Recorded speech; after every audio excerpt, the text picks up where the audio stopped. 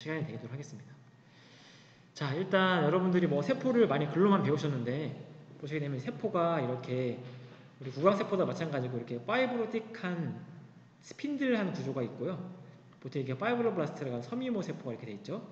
그 다음에 keratinocyte 같은 그런 각질 세포, 피부의 최외곽이나 그런 oral mucosa라고 하는 치은의 잇몸의 최외곽에 있는 세포로 있는 게 이렇게 좀 약간 약간 뭐 네모난 동그란 그런 구조를 가지고 있습니다. 얘랑 확실히 다르죠. 다르고 이두 세포는 세포가 바닥에 붙어 있는데 이렇게 붙지 않고 떠다니는 세포들이 있어요. 흔히 말하는 뭐 RBC나 WBC 이런 것들이 다 떠다니는 세포들이죠. 세포가 종류에 따라서 모양이 붙을 때 스핀들할 수도 있고 약간 네모질 각질 수도 있고 안 붙고 떠다닐 수도 있다. 당연히 떠다닐 때는 이게 세포가 세모 네모는 아니고 당연히 동그라미가 되겠죠. 그래서 이런 게 있고 세포가 뭐 붙은 다음이든 떠다니든 세포가 변하죠. 어떻게 변하는지 대해서 한번 유튜브로 보도록 하겠습니다. 그래서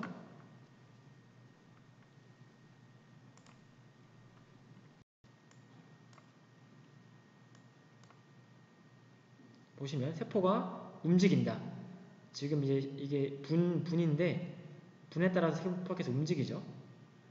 또 네, 뭔가 좀 오른쪽은 이제 세포의 모양을 이제 왔다 갔다 tracking한 건데 뭔가 이렇게 기어다니는 것도 보이죠. 막, 막 날아다니고 막 엄청 빠릅니다. 그리고 세포가 바닥에 붙어 있는 게 아니라 이렇게 동그라미 형태로 그러니까 cluster라고 하죠. cluster를 이룰 때도 얘가 뭐 자라거나 성장하거나 옆으로 기어가기도 합니다. 보시면 이렇게 좀 세포가 커지는 걸 알 수 있죠. 조금씩. 뭔가 하나가 튀어나와서 하기도 하고. 그 다음에 싱글셀 세포를 보게 되면은 이 세포가 이제 팔 뻗는 것처럼 이렇게 뻗어나가는 걸 알 수 있어요. 시간이 지남에 따라 뻗고 뻗고 뻗는다. 이동하죠. 그래서 이 비디오의 테이크 메시지는 세포가 가만히 있는 게 아니라 움직인다. 물론 현미경상에 볼 때는 가만히 있는 것처럼 보이지만 확실히 움직이기 때문에 그 인지하고 있어야 된다가 하나가 있고요. 두 번째, 여러분들 뭐 세포 생물학 시간이나 일반 생물학 시간에 배웠을 거예요. 이렇게 세포의 구조에 대해서 배웠고 세포의 구조의 핵심이 뭐냐? central dogma를 이해할 때 해부학적으로 세포가 어떻게 되어 있느냐를 이해하게 되겠죠. 이렇게 핵 안에 네, nucleus가 있죠. nucleus가 안에 DNA 이중나선 구조가 있고 뭐 그 chromatin이라고 부르는데 크로마틴이 이게 있다가 DNA가 그 다음에 얘가 이제 모든 세포가 뭐 줄기세포든 피부세포든 DNA 구조는 똑같아요. 그죠? 똑같은데 내가 이 세포에 따라서 어떤 RNA를 만들어서 어떤 프로테인을 만들 것이냐에 따라서 세포의 모양, 세포의 성질이 바뀌게 되죠. 그래서 이 DNA가 있고 내가 이 세포는 지금 환경이 만약에 뭐 뼈다. 그러면 아 얘가 뼈가 돼야 되는구나 라고 하게 되면 뼈와 관련된 protein, 단백질을 만들기 위해서 RNA를 만들어내죠. 그래서 messenger RNA가 만들어지고 핵 안에서 그거를 트랜스크립션, 전사라고 하죠. DNA에서 mRNA가 전사가 됩니다. 전사된 것들이 어떻게 나오죠? 핵막, 핵에 있는 구멍을, 핵공을 통해서 밖으로 나오게 됩니다. 나온 다음에 어디? 이제 ER이라고 하는 endoplasmic reticulum, 특히 이제 rough ER, RER에서 이 RER이 뭐냐면 이렇게 ER 중에서도 이렇게 뭔가 동그란 게 붙어 있는 리보솜이 붙어 있는 곳인데 리보솜이 붙어 있는 곳에서 mRNA가 이제 protein으로 translation 번역이 되죠. 번역이 됩니다. 그 다음에 거기서 이제 folding까지 3차 구조를 갖추게 되고 그 다음에 이제 여기에서 ER에서 이제 Golgi complex로 가게 되죠. 가게 돼서 이제 뭐 carbohydrate나 아니면 기타 얘가 어디로 가야 될지에 대한 delivery 할 수 있는 것들을 이제 붙이고 그 다음에 세포 밖으로 나가든 다시 세포 안에 들어오든 하게 되는 것이죠. 네. 그래서 여러분들이 논문 전체 논문을 이해하실 때는 이, 이 세포의 운명, 이 세포가 어떻게 변할 것인가를 사람들이 연구할 때는 mRNA 레벨을 측정하게 됩니다. 그거를 보통 qPCR을 방법을 하게 되는데 qPCR 방법에 대해서 여러분들이 공부를 해보시고 아실 수도 있겠지만 어쨌든 mRNA 레벨을 측정하는 것이 PCR이다 하시면 되고 근데 mRNA가 다 만들어진다고 해서 모든 mRNA가 프로테인으로 가는 것도 아니에요. 이게 중간에 mRNA가 사라질 수도 있거든요. 그래서 mRNA level이 올라가도 protein level이 안 올라갈 수도 있습니다. 그래서 최종적으로 나오는 final product인 protein은 우리가 western blot이나 ICC라고 하는 형광 면역 염색을 통해서 protein을 측정하게 되는 것이죠. western blot은 protein을 추출을 해요. 세포에 추출한 다음에 전기 영동법을 통해서 얼만큼 protein 양이 있냐를 보는 것이고 ICC는 세포 자체를 고정시킵니다. 같은 상태에서 형광 염색으로 내가 원하는 protein의 형광을 달아서 protein이 어디 있나 보는 거예요. 그래서 훨씬 뭐 쉬운 거는 ICC가 하나의 세포로도 알 수 있는데 protein의 정량 평가를 하기 위한 western blot은 세포를 한 개가 아니라 막 만 개, 십만 개를 모아서 뽑아야 돼요. 네. 그래서 경우에 따라서는 이런 western blot 하는 게 쉬울 수도 있고 ICC가 쉬울 수도 있고 그렇게 됩니다. 어쨌든 여러분 central dogma인 DNA가 RNA로 전사가 되고 RNA가 protein으로 번역이 된다.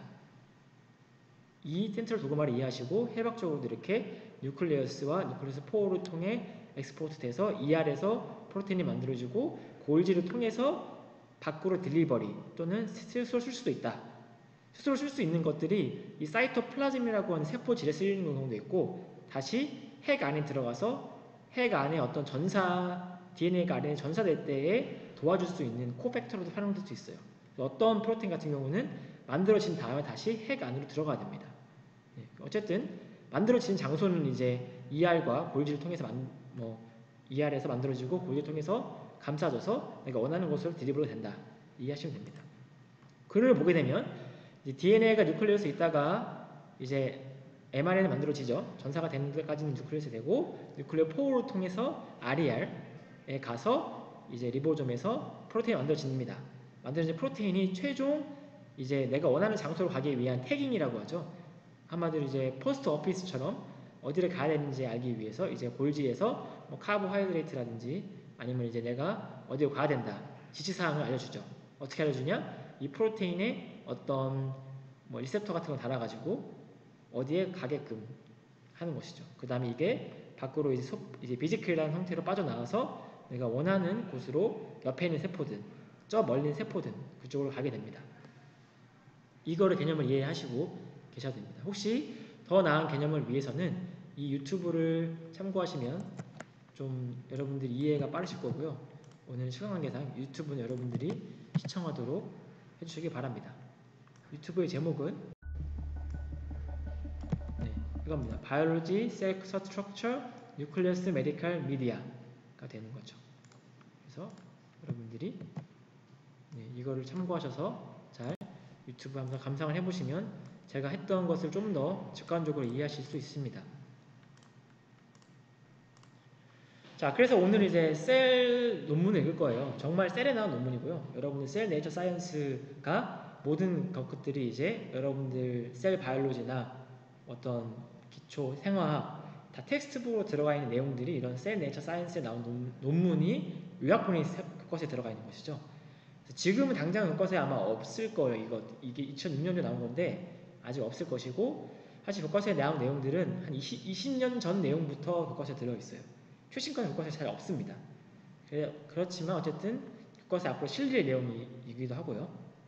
그래서 이제 UPenn에 University Pennsylvania에 이제 데니스 디셔 교수님이 계시고 디셔 교수님의 제자였죠. 박사 제자인 앵글러. 지금은 이제 앵글러 앵글러 교수님은 이제 하버드 MIT의 공동 연구소인 와이스 연구소에 있을 거예요. 그래서 대단한 분들이시죠. 이분들이 이제 제목은 matrix, matrix를 하게 되면 그냥 biomaterial을 생각하시면 돼요. 치과 재료, 생체 재료의 elasticity. elasticity가 다른 말로 탄성 계수입니다. stiffness. elasticity가 direct, 조절한다. stem cell lineage, 줄기 세포의 specification. 어디로 가느냐. 줄기 세포가 어디로 가겠어요? 여기서는 이제 분할을 얘기하는 건데 줄기 세포가 뼈로 가느냐, 지방으로 가느냐, 근육으로 가느냐. 를 조절한다고 하는 것이죠. 한마디로 뭐 재료의 강성, 얘가 강도가 세냐 약하냐가 아니라 스티프니스라고 하는 탄성 계수가 이런 줄기세포의 운명을 좌지우지한다는 것이에요. 여러분들의 개념을 해야 될 게 이런 강도와 스티프니, 그러니까 엘라스티스는 다릅니다. 강도는 약간 비슷할 수도 있는데 강도는 얘가 깨지냐 안 깨지냐고 그 다음에 elasticity는 얘가 이 세포가 한마디로 재료를 느낄 때 만져볼 거예요. 만져볼 때 얘가 주물러 보겠죠. 주물러 봤을 때 1이라는 힘으로 주물렀을 때 얼만큼 변형되느냐 이런 게 stiffness예요. 변형이 1이 되면 뭐 stiffness가 낮은 거고 낮으면 stiffness가 낮으면 더 이제 많이 변화하는 거죠. 근데 1로 내가 주물렀을 때 0.01이 변한다.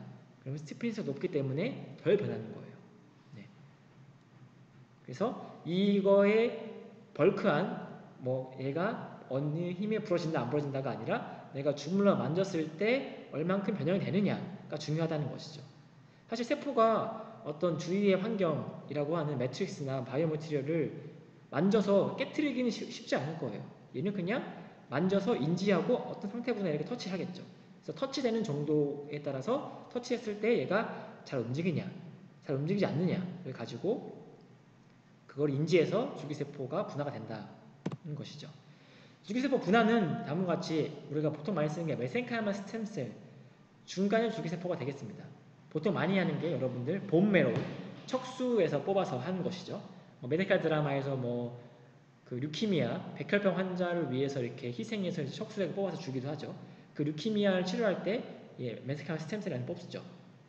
또는 우리가 지방세포라고 해서 지방주기세포라고 해서 패티슈 여러분 배에 있는 패티슈 같은 거를 지방을 제거해서 거기에서 이제 주기세포를 긁어 모아서 할 수도 있죠. 어쨌든 그런 게 대표적인 MSC가 되겠습니다. 줄여서 mesenchymal stem cell MSC. 또한 치아 치과에서도 치아에 있는 모든 조직은 다 거의 MSC라고 보시면 돼요. 잇몸에 있는 세포, 뭐 당연히 뼈에 있는 세포도 마찬가지고 그 다음 치수라고 하는 치아 안에 있는 그런 세포도 다 MSC죠. 또 periodontal ligament, 치주인대 세포도 MSC고 이런 MSC가 있고 그래서 구강 내에 MSC가 참 많기 때문에 또 얻기 쉽잖아요. 그냥 이렇게 긁거나 떼면 되고 그래서 MSC를 가장 쉽게 얻을 수 있는 곳 중에 하나가 이제 구강이 되겠습니다. 저도 거기에 관심이 많고 연구를 하고 있고요. 그래서 이런 세포를 분화를 시킵니다. 분화를 시킬 때 이렇게 지방, chondrocyte, 연골이죠. osteoblast 뼈로는 쉽게 가요. 그걸 이제 분화라고 하고 이제 분화의 또 다른 이름이 이제 transdifferentiation이라고 하는 이게 뭐냐면 중간 줄기 세포는 중간엽인, 지방, 연골, 뼈로 잘 됩니다. 하지만 중간엽이 아닌 외배엽인 glial cell, 뉴런 같은 신경으로는 좀 확률이 좀 더 낮아요. 그런 걸 이제 우리가 중간엽 줄기세포가 외배엽으로 분화됐다. 그래서 transdifferentiation이라고 표현을 하기도 하고 또는 그냥 통틀어서 분화라고 표현하기도 합니다. 네, 이거는 이제 약간 좀 더 specific한 표현이고 그래서 뭐 이것뿐이냐 사실 MSC는 뭐 보시는 바와 같이 뭐 bone, cartilage가 이제 연골이죠. chondrocyte, adipose, 지방, skeletal muscle cell, 근육, 그 다음에 tendon, ligament 같은 인대, 그 다음에 marrow, 뭐 bone marrow 같이 이 다양한 조직으로 중간엽 조직으로 분화가 가능하죠. 그래서 어떻게 분화시키느냐 여기에 해당되는 배양 조건이 있어요. 배양 조건이 뭐냐면 줄기세포를 키울 때 뭐 vitamin A, B, C, growth factor B를 넣으면 adipose가 되고 chondro를 키우기 위해서는 뭐 vitamin C, D, growth factor D 하게 되면 chondro가 되고 이런 식으로 공식이 있거든요. 공식대로 얘를 키우게 되면은 그쪽으로 분화가 됩니다. 어떻게 알았느냐? 사람들이 연구를 했겠죠. 연구하고 이 분화, 이 줄기세포를 분화시키기 위해서 어, 수십 년간 한 결과가 이제 논문에 나와 있어요. 그래서 논문에 나와 있는 대로 분화를 시키게 되면 각각 분화가 되고 뉴런 같은 경우는 좀 확률이 낮, 낮습니다. 낮지만 분화가 되긴 됩니다. 그래서 중간엽 줄기세포 MSC의 fate가 어떤 분화 media에 어떤 분화 배양 조건이 있느냐에 따라서 달라진다는 개념을 이해하시고요. 그리고 또 하나 나오는 게 우리가 세포가 있는데 세포가 이렇게 세포막이 있고 여기 이제 핵이 있고 핵막이 있어요. 세포에 왜 골격을 이루는 게 cell membrane인가 우리가 뭘로 배웠죠? 액틴 필라멘트라고 배웠나요? 아, 혹시? 액틴 필라멘트라는 구조를 통해서 우리가 세포의 골격을 유지하고 있습니다.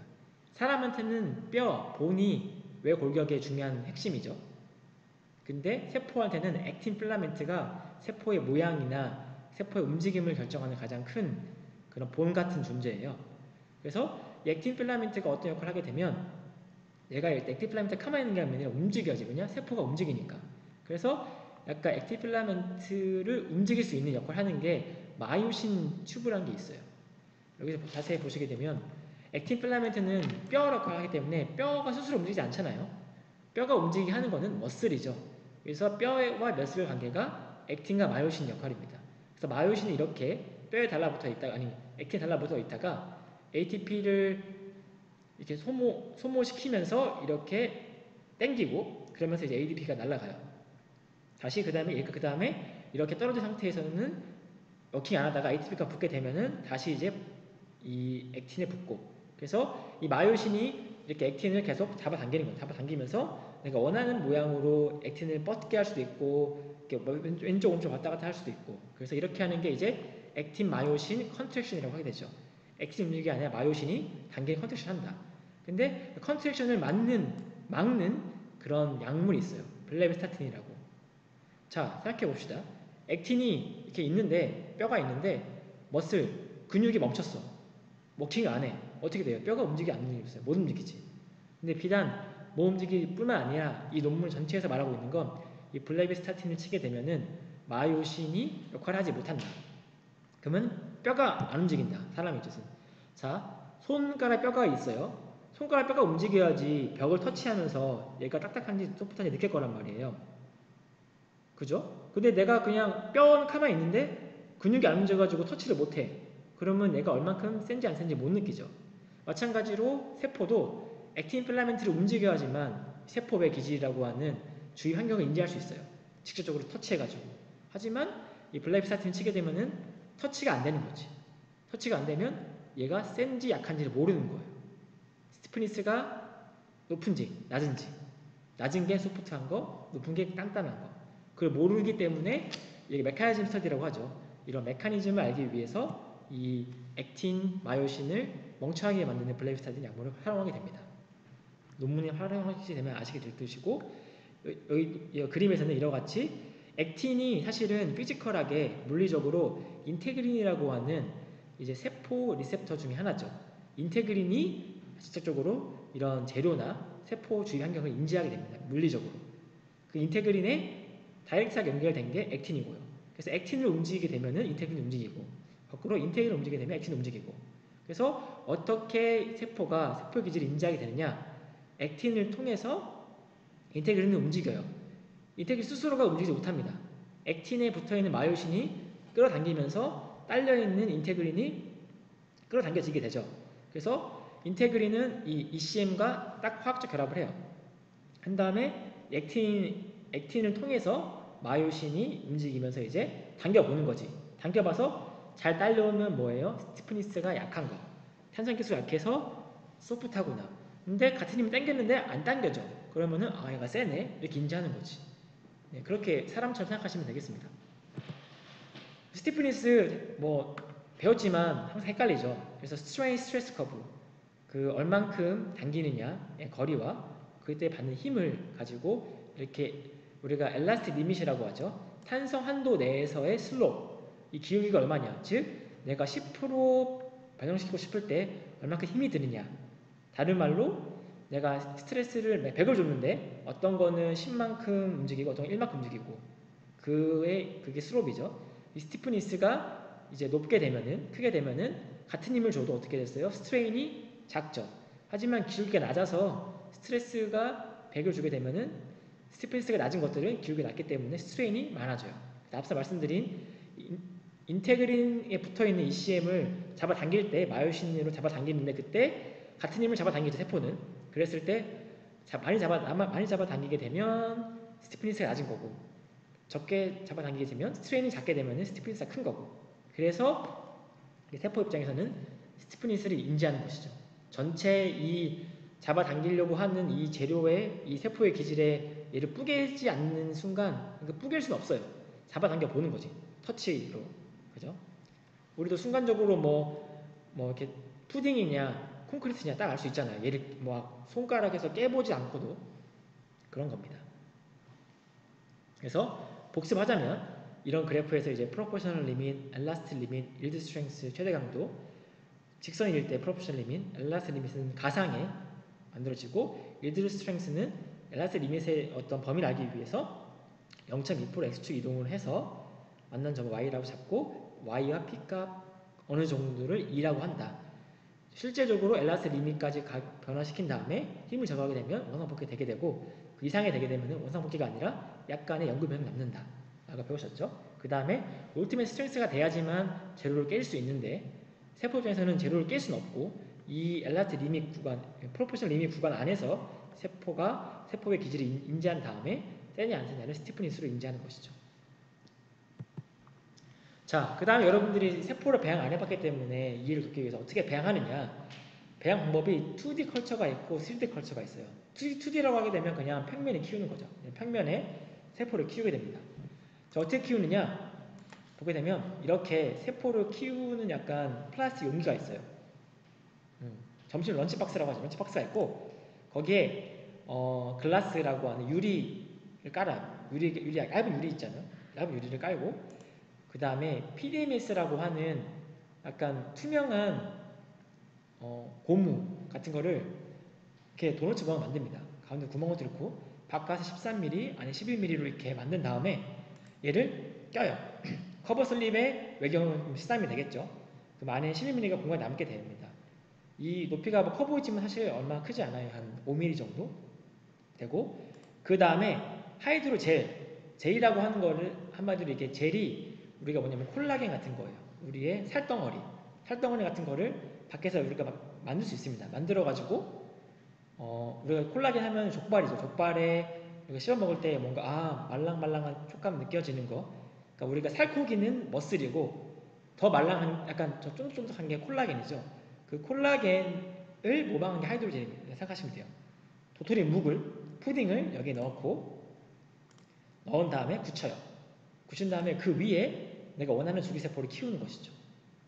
이해되시죠? 근데 일반적인 콜라겐 같은 걸 우리가 여기서 쓰지 않고 그냥 콜라겐을 이용하게 되면 stiffness라고 탄성계수의 변화를 시킬 수가 없어요. 그래서 다른 합성 하이드로를 쓰게 됩니다. 뭐, 뭐 예를 들어서 그냥 도토리 묵이라고 하죠. 도토리 묵은 근데 이 도토리 묵은 세포가 붙을 수 있는 사이트가 없어요. 세포가 아무 데나 붙는 게 아니라 사실 세포는 RGD라고 하는 어, 펩타이드 sequence를 인지해요. RGD 세 가지 펩타이드 sequence 인지해서 거기가 세포가 붙을 수 있습니다. 그 붙을 수 있는 자리를 integrin이 인지하는 거예요. integrin 인지해서 붙는 거고 자 그래서 어쨌든 세포를 넣고 그 다음에 몇 시간 뒤에 이렇게 세포를 키울 수 있는 배양액을 넣어줘요. 뭐 뼈면 뼈에 관련된 배양액, 지방이면 지방에 관련된 배양액, 근육 근육 관련된 배양액, 아니면 신경이면 신경 관련된 배양액을 넣어주고 또는 이런 cover slip 필요 없다. 나는 그냥 이런 플라스틱 컨테이너에 바로 direct로 hydrogel을 깔고 그 다음에 세포를 뿌리고 이거 배양을 넣을 수 있겠죠. 하여튼 넣는데 아까 말씀드렸듯이 그냥은 이 하이드로젤 우리가 합성 hydrogel이기 때문에 세포가 안 붙습니다. 그래서 우리가 인위적으로 fibronectin, 콜라겐 또는 RGD 시퀀스를 코팅하게 돼요. RGD 시퀀스가 있는 게 콜라겐이 콜라겐이 여러 가지 뭐 펩타이드 sequence도 있겠죠. 그 중에서 RGD가 존재하고 fibronectin도 RGD가 있습니다. 그래서 이거를 화학적 결합을 시키기 위해서 설포 산파라고 하는 그냥 그냥 이름만 아세요. 설포 산파라고 하는 화학적 링커라고 하는 거를 통해서 하이드로젤과 이 RGD 시퀀스가 있는 펩타이드 또는 프로테인을 붙입니다. 그 다음에 거기에 줄기세포를 붙이게 되죠. 그 다음에 내가 원하는 배양액을 처리해서 내가 어떻게 변하느냐를 보는 거예요. 네. 그래서 이런데 이제 우리가 37도 몸의 온도에 맞게끔 넣어주고 그 다음에 배양을 시킵니다. 그래서 어떻게 하느냐 이런 뭐 이건 젤이 아닌 경우에는 만약에 타이타늄이다 마찬가지고 젤 만든 다음에 이 위에 제가 직접 줄기세포를 뿌려주고 네, 또 여기에 뿌려줄 수도 있고 그 다음에 뭐 한 3, 4시간 뒤에 세포가 붙은 다음에 이 전체를 이제 이머지 할 수 있도록 덮을 수 있도록 세포를 키우는 미디어에 넣어주게 되죠.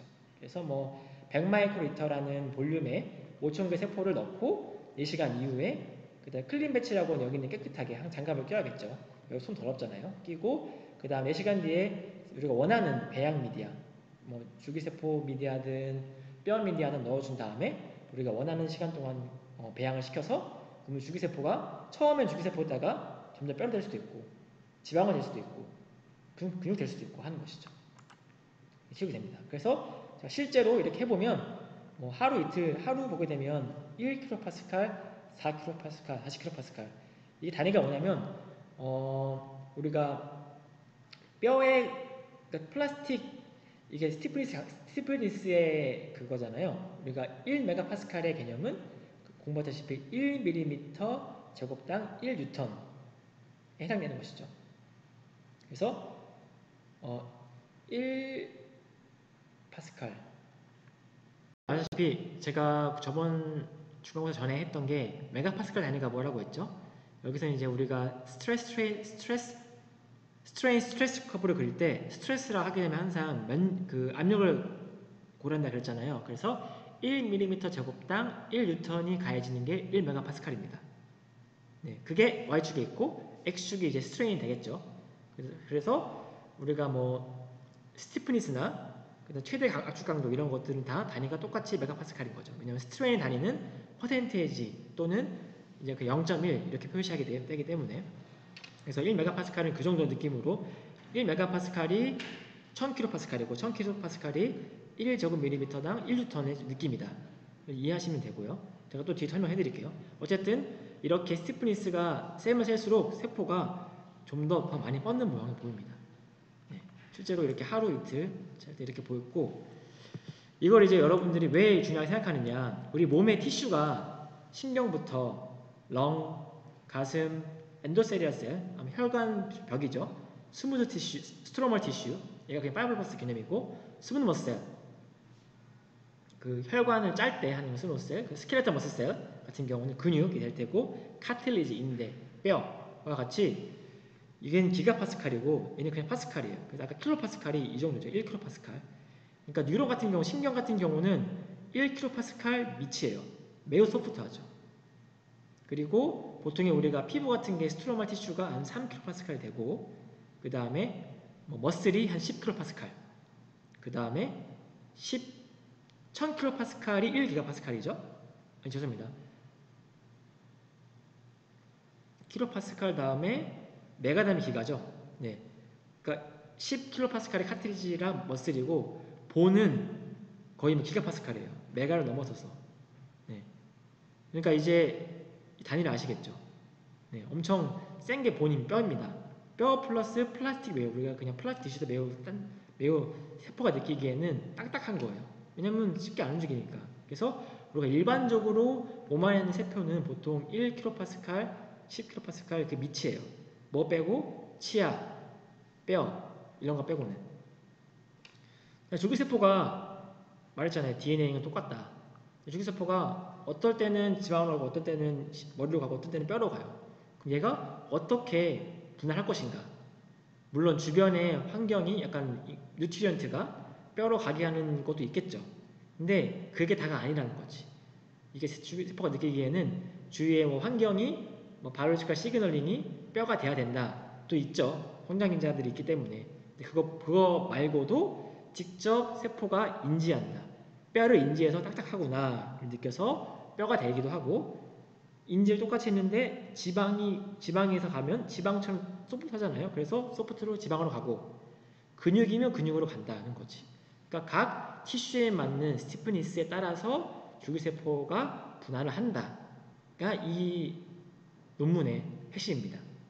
그래서 사람들이 알고 있었던 뭐 뇌는 소프트하고 뼈 단단하다 이거를 이제 2 기가 파스칼부터 50 파스칼까지 우리가 성분은 똑같은데 이렇게 스티프니스를 다르게 할 수 있는 걸 하기 위해서 모델로서 합성 젤을 쓴 거예요. 합성 젤이라고 하는 걸 도트리묵을 써가지고 도트리묵을 뭐 1kPa, 10kPa, 1000kPa 이런 식으로 이제 여러분께 만들어낸 거죠. 만들어내고 각각의 같은 줄기세포를 동시에 키워가지고 진짜 얘가 뼈로 근육으로 신경으로 가느냐에 대해서 말한 논문이 되겠습니다. 그래서 논문을 읽어보도록 할까요? 자, 제가 논문을 여러분들 구글 클래스에 가시면 논문을 제가 올려놨습니다. 그래서 이제 논문이 이제 두 개가 있어요. 파일이 파일이 하나는 원본이 있고 하나는 supplement라고 해서 원본을 이해할 때 도움이 되는 것들이 있어요. 여러분들이 왔다 갔다 해서 읽으시면 됩니다. 그래서 저는 일단 이 원본의 그 주 핵심인 원본을 보고 말씀드릴 거고 여러분들이 이제 논문 전체에서는 supplement라고 해서 보충 자료에 대해서도 많이 인용이 돼 있어요. 그래서 여러분 왔다 갔다 보시면은 훨씬 이해가 좋으세요. 그래서 이렇게 논문이 셀 논문이죠 실제로 매트릭스가 읽었고 유펜 그룹에 했고 서머리라고 해서 항상 논문에는 요약문이 있습니다. 어, 요약문이라고 하는 것은 이 논문을 독자들이 읽을까 말까를 결정하는 것이죠. 그래서 매우 어트랙티브하게 써놨어요. 쉬운 말로 읽어볼까요?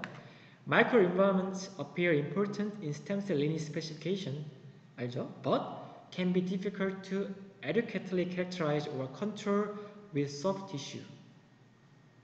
네, 미세환경이 매우 중요한 줄기세포의 lineage specification 한마디로 stem cell fate를 조절할 때 중요한다. 하지만 어, 매우 정확하게 뭐 컨트롤과 characterize 하기가 어렵다. soft tissue에서 특히 한마디로 여기서 여기서 좀 깔고 있는 거죠. stiffness 관련 개념을 나이브 그냥 stem cell이죠. 분할시키지 않은 naive stem cell 같은 경우가 specify lineage 그러니까 뭔가 좀 특별 linea, lineage라고 하는 것은 특정 세포 라인으로 분화가 되게 되는데 phenotype으로도 되고 그 다음에 매우 센시티브하게 티슈 레벨 엘라스티시티에 반응하더라. 그러니까 tissue가 가지고 있는 stiffness에 따라서 반응을 해서 그쪽으로 분화되더라. 그래서 뭐냐? soft matrix 연약, 연약한 도토리묵 뭘 하죠? brain mimic한 mimic이라고 하는 거 모방하는 거죠. 신, 그러니까 뇌를 모방한 soft한 곳에서는 neurogenic 신경으로 모방한 뇌를 모방한 soft한 거는 neurogenic 신경으로 가고 stiffer matrix 좀 더 stiff한 elasticity가 높은 거 muscle mimic한 근육을 mimic한 거는 근육으로 가고 myogenic 근육으로 간다. complete rigid 매우 딱딱한 거 딱딱하죠. rigid matrix mimic collagenous bone. 뼈의 어떤 콜라겐 콜라겐은 뼈의 전구체가 되는 거죠. 뼈의 전구체인 콜라겐을 모방한 매우 딱딱한 rigid한 매트릭스에서는 osteogenic 뼈로 간다 어 이해했어요 During the initial week in culture 1주 동안 culture 배양을 할 때 reprogramming of these lineages is possible with addition of soluble induction factor 초기에는 soluble induction factor라고 해서 아마 성장 인자라든지 어떤 물리적인 환경 말고 화학적, 생물학적 환경을 만들어 줬더니만 어, 이런 뭐 뼈, 근육, 신경 되는 것들이 possible 이렇게 뭐 왔다 갔다 가능하다. 한마디로 이제 뭐 어떤 곳에서 키우든 뼈에 관련된 성장인자가 있으면 뼈로 간다 이런 것이죠. 소프트하든 딱딱하든 그런 느낌이에요. But after several weeks in culture 하지만 그냥 분할을 시키기 전에 얼마 동안 오랫동안 컬처를 시켰어요.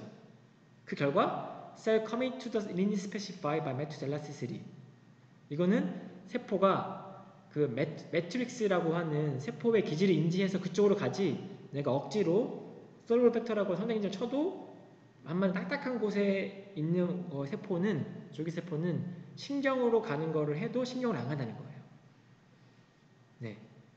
그리고 inhibition of non-muscle myosin 2 이게 이제 아까 말했던 myosin, 액틴, contraction에 있는 게 muscle이 있고 non-muscle이 있어요. 어쨌든 뭐 non-muscle은 stem cell에 활용되는 거니까 muscle은 이제 근육에 있는 거죠.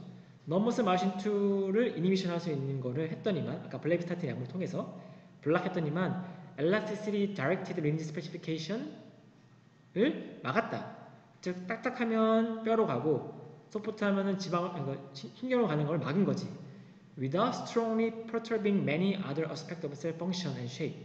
모양을 변화시키지 않고 또 다른 걸 변화시키지 않고 분화가 안 되게 되더라.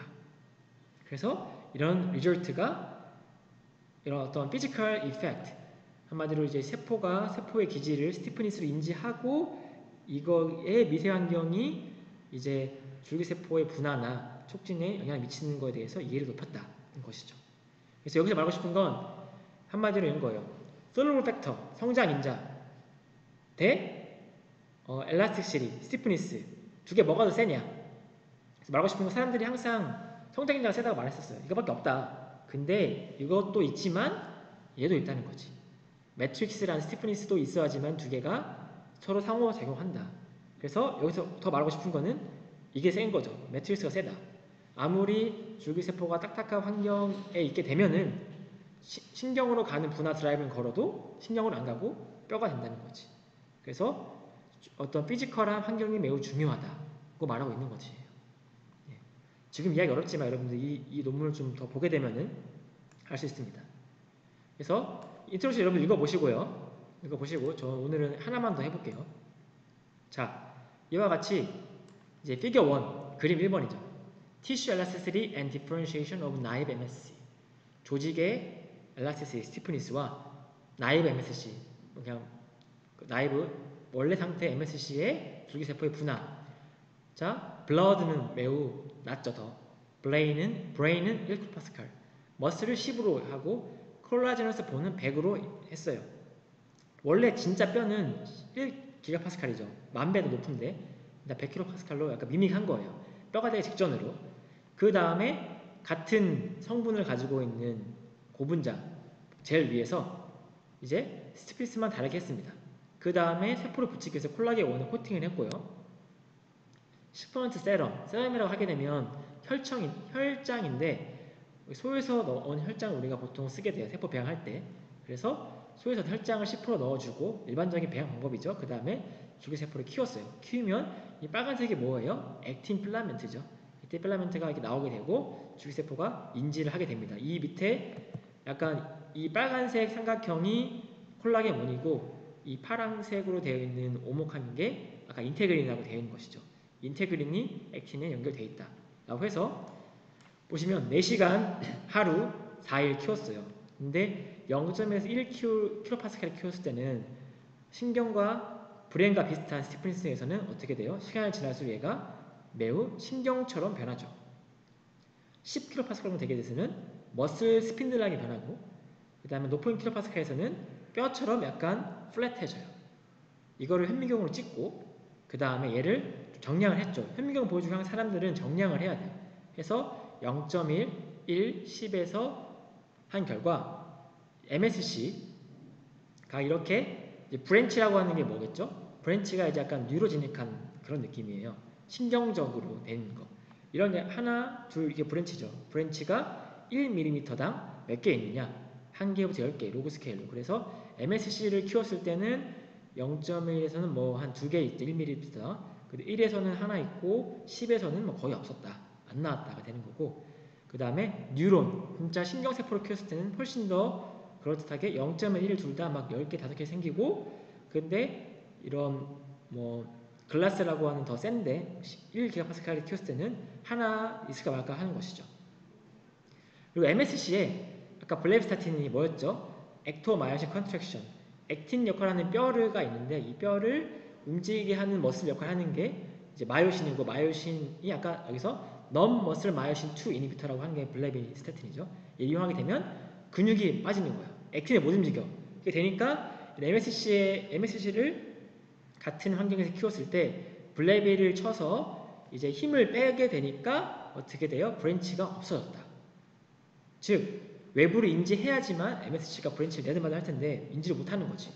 그래서 아 이런 브랜치가 있냐 없냐 이거 이제 카냐 아냐가 일단 마요신이라고 하는 액틴을 당기는 힘이 있어야지만 인지를 하기 때문에 브랜치가 있고 없고 되게 된다 하는 것이죠. 두 번째로 스피드 팩터 이건 뭐겠어요? 근육과 관련된 팩터겠죠. 근육. 이렇게 스피드 팩터가 얼마큼 이렇게 얄쌍하냐를 말하는 거예요. 얘가 가장 얄쌍한 거고 얘는 덜 얄, 가장 덜 얄쌍한 거고 얘는 얄쌍해 보이지만 조금 더 퍼져 있잖아요. 이, 그래서 이거를 뭐 1이라고 치면은 얘는 뭐 한 0.8, 얘가 한 0.1 될 거예요. 네. 그래서 얘는 뭐 10까지 했네요. 그래서 마이오블라스트라는 걸 키웠어요. 이거는 근육세포죠. 근육세포 키웠더니만 역시 10이라고 하는 근육과 비슷한 스티프니스를 가진 환경에서 가장 스핀들 팩터 길게 스핀들하게 되더라. 딴 0이 뭐 1이나 글라스에서는 낮죠.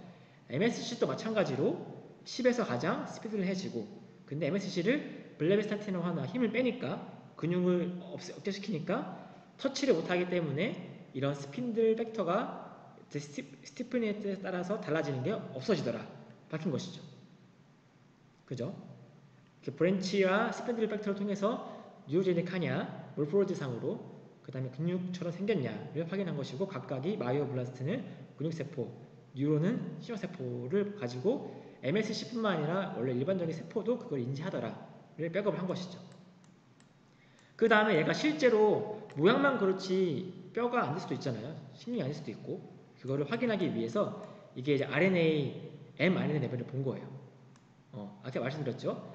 이 줄기세포는 DNA 똑같습니다. 똑같은데 어떤 환경이 있느냐, 스티프니스가 1이냐, 0.1이냐, 1이냐, 11이냐, 34에 따라서 DNA에서 mRNA로 전사되는 게 달라질 수 있다는 것이지.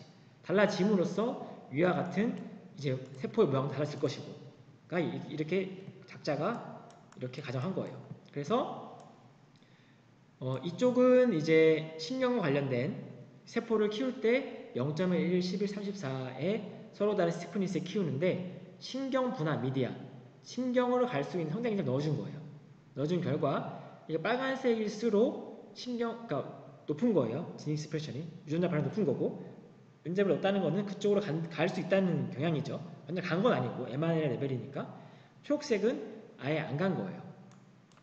그래서 어, 이게 1을 쳤을 때 맥스가 이제 얼만큼 올라가느냐 초록색은 얼만큼 떨어진 거냐 보게 되는 거죠. 그래서 이 빨간색이 진한 게 어디예요? 0.1에서 진하죠. 이게 전 신경과 관련된 유전자인데 유전자가 매우 진하더라. 언제? 0.1에서.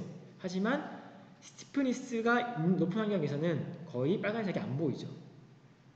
초록색이 보기도 하고. 어, 그렇습니다.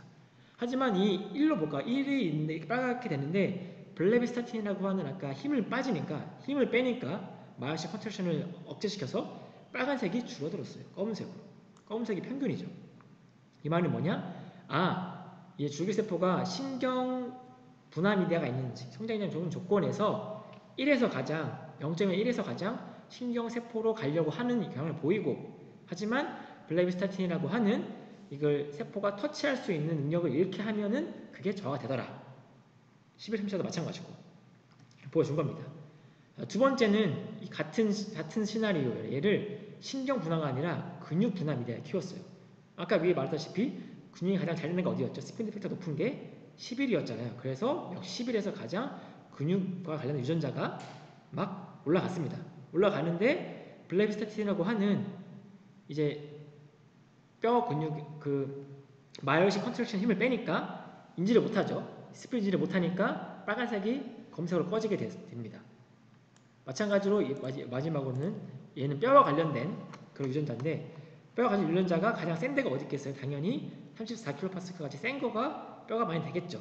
되는 경향이 보이고 이런 것들이 똑같이 블레이스타틴 치게 되면은 사라지더라. 보게 된 겁니다. 그래서 여기서 이제 각각은 성장 솔롤 팩터라고 해서 신경 성장 미디아, 신경, 신경 분화 미디아, 근육 분화 미디아, 뼈 분화 미디아예요.